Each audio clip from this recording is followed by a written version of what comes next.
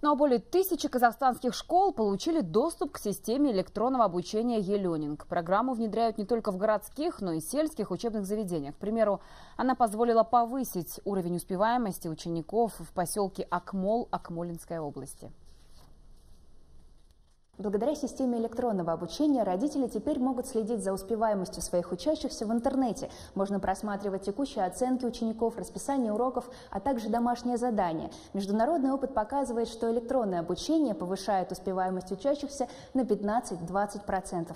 Махабат Ирешева готовится к сдаче ЕНТ. Отличница признает, некоторые предметы ей раньше не удавались. Но сейчас благодаря электронным ресурсам можно легко подготовиться. Тестовые задания есть в интернете.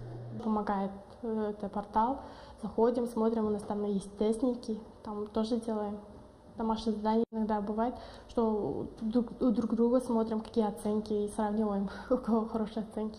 Электронное обучение помогает и родителям, особенно ребят помладше. У Венеры Аспановой сын учится во втором классе. Каждый вечер она проверяет не только обычный дневник сына, но и электронный.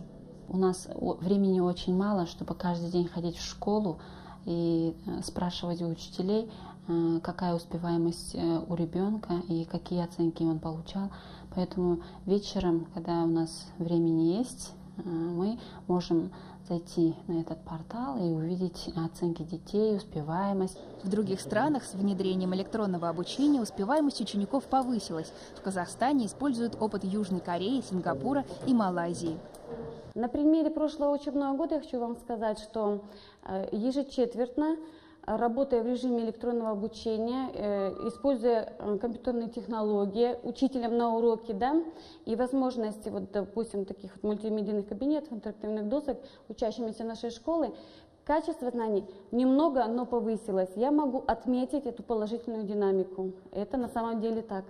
В селе Акмол благодаря электронному обучению появилось 30 новых компьютеров. По словам Завуча, главное преимущество программы в том, что она постепенно повышает компьютерную грамотность и учеников, и учителей. Мадина Алданова, Ирлан Наурзбаев, Акмолинская область.